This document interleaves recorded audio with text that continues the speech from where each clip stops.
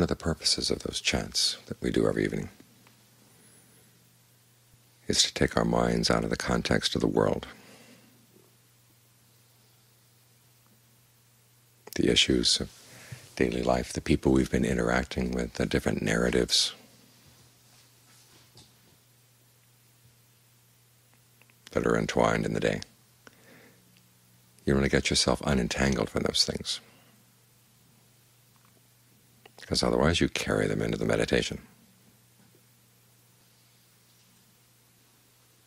And the meditation gets constrained by the constraints in those narratives. So you want to step back and realize the world is something smaller than your mind. The Buddha defines the world simply as sight, sound, smells, taste, tactile sensations, and then your sense organs that pick these things up, and then the things you make out of that raw material.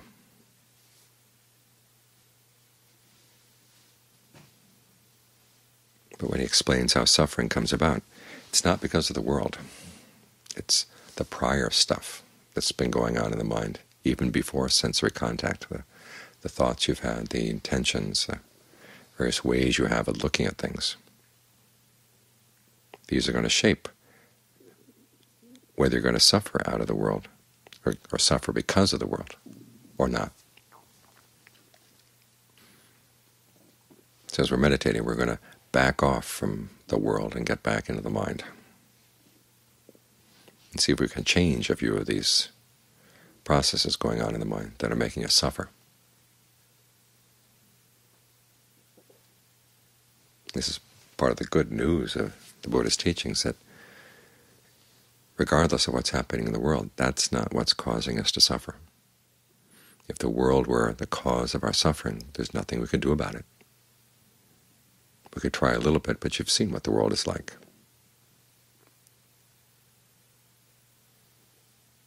People often start with good intentions, and then they start getting corrupted.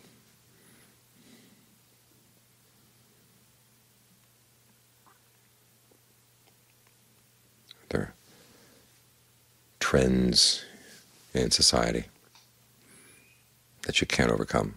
You can try to push against them. I was reading recently the last volume of The Once and Future King, which the two, the two armies are going to go to battle in over the slightest little misunderstanding. And as they're rushing at each other, King Arthur stands there trying to push his own forces back, and they're not listening to him at that point. Here he is, the king, and he can't push those things back. That's one of the interesting details in the Pali Canon as well. And the Buddha is going to talk about the drawbacks of lay life. He often focuses on the drawbacks of being a king. After all, you think being a king would be the best thing you could be as a layperson. You have all this power, you have all this wealth. But when you look at how kings live, it's pretty miserable. And there's so much they can't control. That's why it's good news, is that our suffering doesn't come from the world. It comes from within the mind. It comes from something we can change. The Buddha says it starts with ignorance of what suffering is and where it's coming from and what we can do about it. And because we're ignorant, then we start shaping things. Even prior to our consciousness, there are already intentions moving in different directions. And this is where the meditation settles in, right at that process of fabrication, as the Buddha calls it. Take right mindfulness, for instance. Mindfulness basically means keeping something in mind. All too often it's defined as bare awareness or an open receptive awareness of the present moment. That's alertness. Mindfulness means that you remember certain things as you try to be alert. One is remembering that there are certain frameworks for understanding things that are going to be more helpful than others. We hear about this often, how, how you frame a question or how you frame a story makes all the difference. Well, it's the same in the meditation. How are you framing things? The Buddha recommends four possible frames. Either look at the body in and of itself, or feelings in and of themselves, mind states in and of themselves, or mental qualities in and of themselves. Often he recommends starting with the body because that's the easiest of these frameworks to keep track of. But feelings will come up in the body, and your mind states are going to be right here at the body. So sometimes it's useful to switch your frame of reference. Do it consciously. But these are the four things you want to keep in mind, four ways of framing what's going on right now. So when you're dealing with the breath, and thoughts come up about why is it that I can't stay with the breath, what's wrong with me, that's not the way you want to frame the issue. It's just the breath in and of itself. You want to see what is this breath like? How does it feel? When I breathe in, where do I notice it?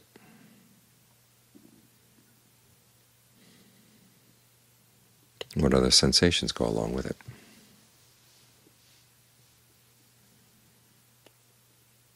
And the other issues that come up, you just want to put them aside. Just awareness and breath. The next thing you want to keep in mind, though, is that once you've got this framework, it gives you some advice on what to do. The big framework that we're operating within, of course, is the Four Noble Truths.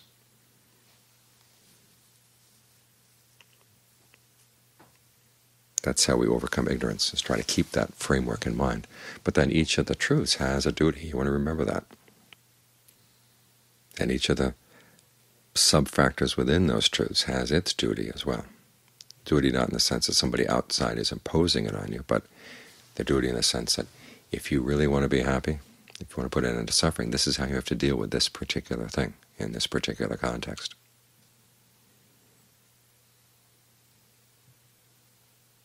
For example, with suffering, the duty is to comprehend it. That means to watch it until you understand where is the the appeal. Why do we cling in such a way that causes suffering? When we're actually suffering, what is it?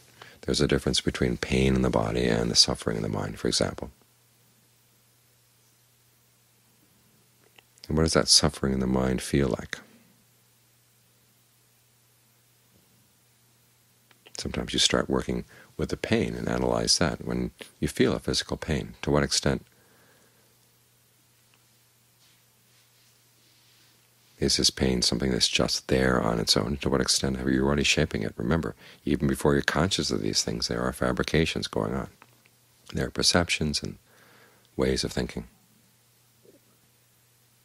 ways of breathing with regard to that pain that, if they're done with ignorance, are going to cause suffering. So how can you bring some knowledge to this process of how you experience pain, how you label it, how you breathe around it? And then when you learn some of these lessons for physical pain, then you try to apply them to mental pain as well.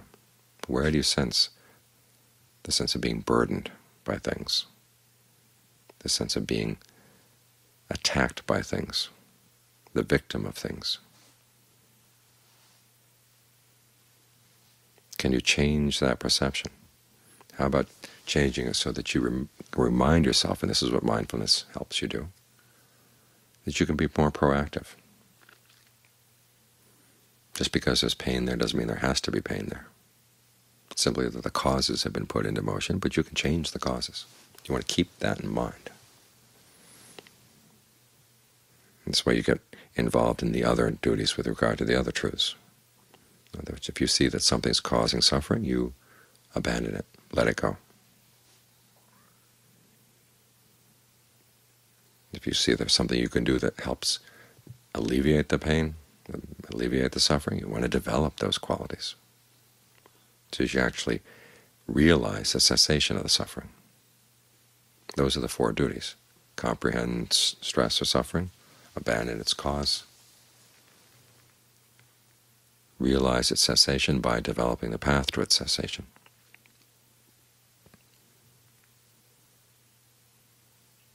So that's the main framework you want to keep in mind.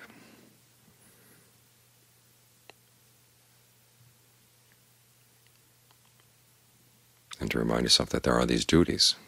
And then when you look, say, at the Satipatthana Sutta, where the Buddha explains right mindfulness, he goes into a lot more detail about the various ways you can apply the larger framework to what you're doing right now.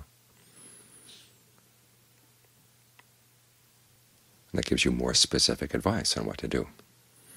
For example, one of the contexts that the Buddha has is the six sense media, just seeing things in terms of sight, sound, smells, taste, tactile sensations, and then the organs that receive these things. And in that context, you want to see what's creating the fetter that causes you to suffer with regard to sights or sounds or smells, tastes, tactile sensations, or ideas. And what can you do to abandon that fetter?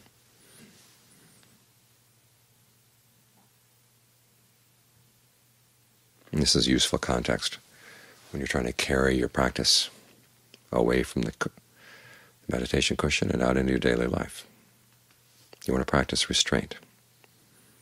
If you see that you're looking at something that's causing greed, aversion, or delusion to arise, you want to look in a different way. Again, to remind yourself that you're not totally on the receiving end of these things. Sometimes you hear people say, well, there's something beautiful out there, and that gave rise to greed.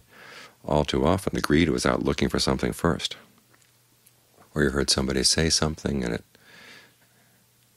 as they say Thai, it got stuck in your ear in the wrong way. You'd be angry about it for a long time. You say, well, it's because that person said such and such a thing that I'm angry. But all too often you've got your ears cocked in such a way that they're going to get angry about whatever comes in. In other words, the mind is often looking for trouble. That's what you want to look for. Again, the problem is not the things outside, it's what's coming from within.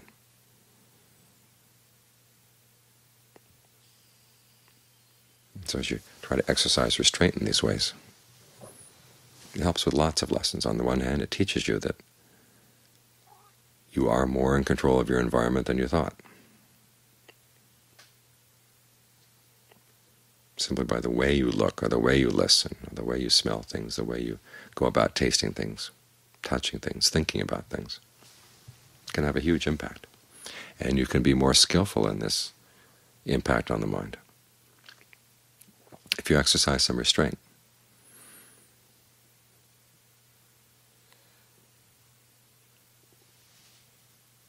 And then you can carry those lessons into the meditation, remembering you can be more proactive. And if they're suffering, it's the cause is not that far away. Just turn around, look in your mind. This is not laying the blame on you. This is offering you the path out of the suffering. I mean, what people do outside often is totally outrageous. Sometimes people don't even behave like people. They behave like beasts. And it's true. We're not denying that fact. But if you focus on that, that's not going to solve the problem. We're not here to assign who's responsible and who's not responsible for your suffering. We're here to find a way out. And the way out is by looking into the mind. How do you shape things? When you go about looking and listening, thinking, what are you looking for? Can you look and listen in a different way? When you look at things in this way, it's really empowering.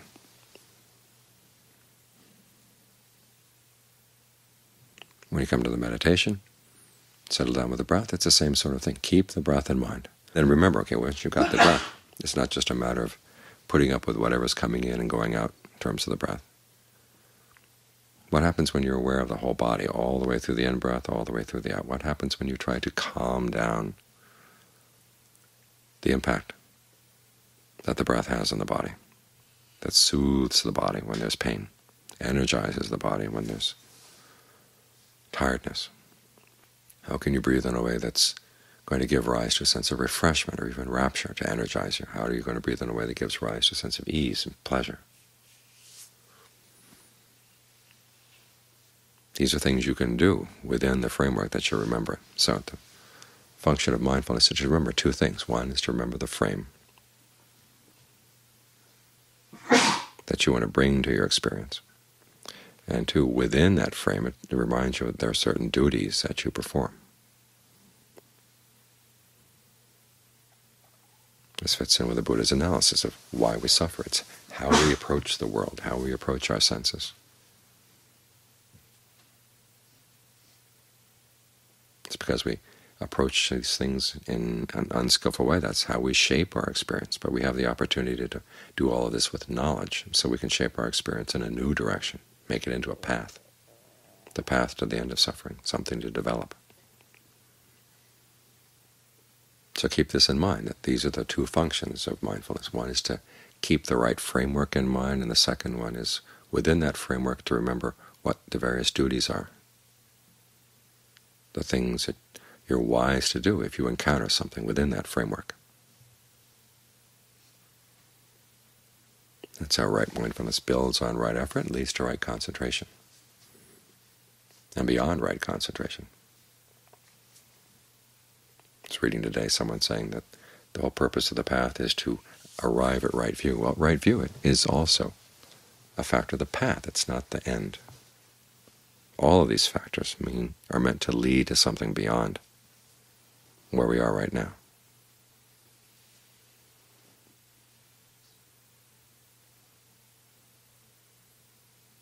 So keep that in mind. We're here to know the present, not because the present is a wonderful place, but it's where all the really good work can be done.